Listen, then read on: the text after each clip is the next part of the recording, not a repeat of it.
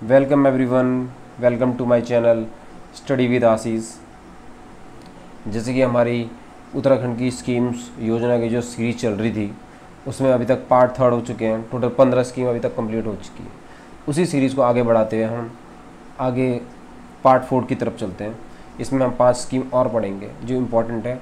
उत्तराखंड के आने वाले ए एग्ज़ाम या फिर आरओ एग्ज़ाम या फिर जो हमारे ई का एग्ज़ाम होना है, उत्तराखंड एसआई का एग्ज़ाम तो इन सब के लिए इम्पोर्टेंट है स्कीम्स ठीक है? तो सबसे पहले स्कीम जो आती है, उसके बाद हमारी आती है, वो है मुख्यमंत्री सौर मुख्यमंत्री सौर स्वरोजगार योजना, ठीक है? ये बड़ी इंपॉर्टेंट स्कीम है फॉर क्या है? सेल्फ एम्प्लॉयमेंट के लिए टू रूरल यूथ है स्मॉल एंड मार्जिनल फार्मर ठीक है? जो हमारे छोटे किस सीमांत किसान हैं, उनके लिए बहुत इंपॉर्टेंट है आय का साधन हो जाएगा उनका। इसके अंतर्गत 25 किलो वाट का सोलर तक के सोलर प्लांट लगाए जाएँगे। ठीक है? जो बिजली पैदा होगी, उसके लिए क्या होगा? पावर परचेज एग्रीमेंट होगा बिटवीन यूपीसीएल एंड बेनिफिशरी जो प्लांट लगा रहा है, उसके बीच में और यूपीसीएल के बीच में क्या होगा? एक पावर परचेज एग्रीमेंट होगा कि जो भी बिजली पैदा होगी, उसको साढ़े चार रुपये प्रति यूनिट के हिसाब से यूपीसीएल खरीदेगी। ठीक है? स्कीम को, इस स्कीम को ये जो जो स्कीम के अंदर जो गाइडलाइंस बनानी है एसओपी बनानी है, वो सब कौन बनाएगा? Uttarakhand renewable energy development agency UREDA ठीक है? उत्तराखंड अक्षय ऊर्जा विकास एजेंसी जो सब बोलते हैं उरेडा वो बनाएगी इस स्कीम के लिए। ठीक है? काफ़ी अच्छी योजना है, काफ़ी बेटर चलती बड़ी अच्छा ठीक परफॉर्म कर रही है। ठीक है? पहाड़ी क्षेत्रों में बल्कि और ज़्यादा सरकार इसमें सब्सिडी देती है। ठीक है? ये देखिए, ये है इसका ऑफिशियल वेबसाइट से जो है हमारा। ठीक है? नेक्स्ट है हमारी दीनदयाल उपाध्याय होम स्टे योजना। ठीक है? दीनदयाल उपाध्याय होम स्टे योजना। अब ये योजना जो है, ये 2018 में लागू, चालू की गई थी, ठीक है? इसमें अंतर्गत क्या करना था? क्लीन और एफोर्डेबल हाउसिंग फैसिलिटी प्रोवाइड करवानी थी फॉरेन और डोमेस्टिक टूरिस्ट को।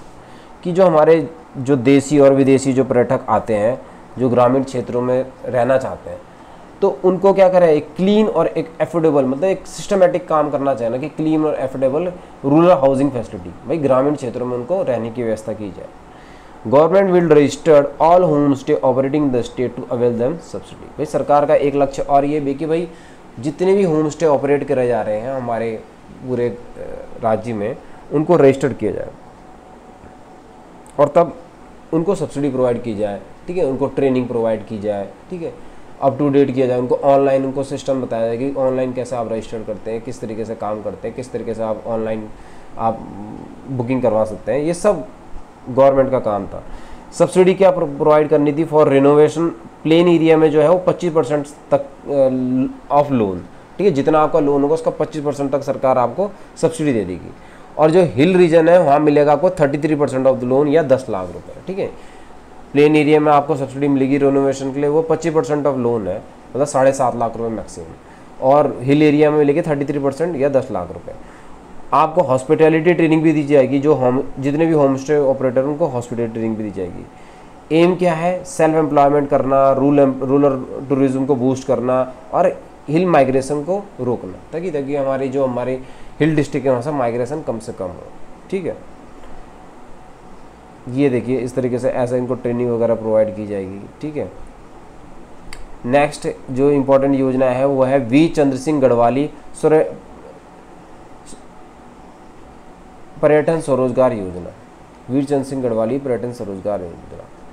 ये काफ़ी पुरानी योजना है मतलब उत्तराखंड बनने के बाद काफ़ी इंपॉर्टेंट बनने के बाद जो इम्पोर्टेंट योजना लागू, उनमें से सबसे इम्पोर्टेंट ये है वीर चंद्र सिंह गढ़वाली। ये 2002 की है, ठीक है? Aim to provide self employment in tourism sector क्योंकि टूरिज़्म सेक्टर को सेल्फ एम्प्लॉयमेंट प्रोवाइड कैसे किया जाए लोगों को? तो इसके लिए दो तरह के सब्सिडी का अवेल की जाए, की गई। एक है व्हीकल के लिए दी जाएगी और एक है नॉन व्हीकल ठीक है ना? व्हीकल में जैसे कि आपको टैक्सी लेने के लिए सब्सिडी दी गई होगी, दे सकते हैं। बस के लिए मैक्स के लिए, ये सब व्हीकल के लिए होगी। और होटल नॉन व्हीकल में आ गया आपकी hotel PG fast food centre adventures activities laundry bakery ठीक है ना? राफ्टिंग कैंपिंग ये सब इसके अंडर थी नॉन व्हीकल वाले में। व्हीकल हिल और प्लेन के लिए सिर्फ़ पच्चीस परसेंट ऑफ़ लोन या दस लाख रुपए तक का लोन मिल सकता है। ठीक है ना? ठीक है? और नॉन व्हीकल में नॉन व्हीकल में हिल के लिए थर्टी थ्री परसेंट ऑफ़ या थर्टी थ्री लाख और प्लेन के लिए पच्चीस परसेंट या दस लाख रुपए दी जाएगी। ठीक है? नेक्स्ट वीर सिंह गढ़वाली के लिए देखिए, ये इसके ऑफिशियल वेबसाइट से है। ठीक है? जून 2002 में लॉन्च की गई है। ठीक है? इसमें देखिए, साधारण बस के लिए होइंग पेस्ट टैक्सी के लिए मैक्स के लिए इलेक्ट्रिक बस के लिए भी हो गया। ये अभी आजकल इलेक्ट्रिक बस भी ऐड कर दिया गया। ठीक है ना? आप ध्यान बना सकते हैं साहसिक क्रियाकलाप, ठीक है? एडवेंचर एक्टिव जिसे बोलते हैं। नेक्स्ट जो है हमारी फ्री लैपटॉप डिस्ट्रीब्यूशन योजना। ठीक है ना? ये उत्तराखंड सरकार की काफ़ी इंपॉर्टेंट योजना है। इसके अंतर्गत हर साल क्या दिए जाते हैं? लैपटॉप प्रदान किए जाते हैं। किसको? Provided to government school only government school के बच्चे अलाउड होते हैं उसमें। Who scored 80 percent and in tenth and twelfth board ठीक है? जो अस्सी परसेंट या उससे ऊपर लाते हैं, दसवीं और बारहवीं के बोर्ड में, उन स्टूडेंट्स को ये दिया जाता है। ठीक है? Free laptop aim to encourage student to perform better in their board exam कि भाई, बच्चे क्या करें बोर्ड एग्ज़ाम में वो बेटर परफॉर्म करें। एक तरह से प्रोत्साहन इंकरेजमेंट है एक तरह नेक्स्ट है हमारा फ्री टैबलेट योजना।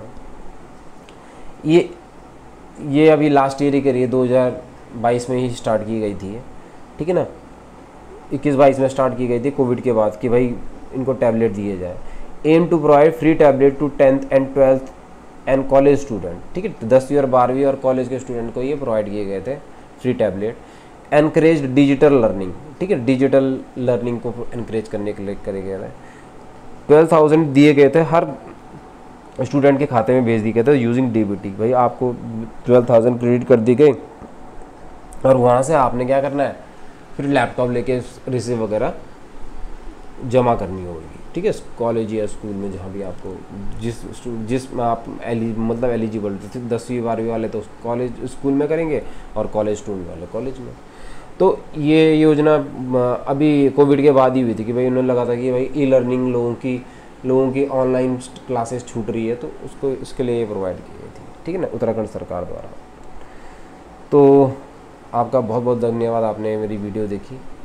अभी तक टोटल ट्वेंटी स्कीम हो चुकी हैं, जो आने वाले एग्ज़ामों के लिए बहुत इंपॉर्टेंट है।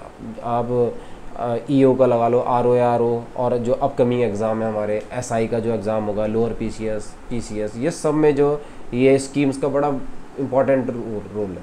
ठीक है ना? ये बड़ा ये अच्छा खासा कंट्रीब्यूशन होता है इसमें मार्क्स में। तो स्कीम्स को बड़ी इंपॉर्टेंट है, कौन सी स्कीम कैसे है ये, मैंने अभी तक टोटल ट्वेंटी स्कीम्स पढ़ा चुका हूँ, उत्तराखंड से रिलेटेड तो आपने देखा वीडियो उसके लिए बहुत बहुत शुक्रिया, धन्यवाद।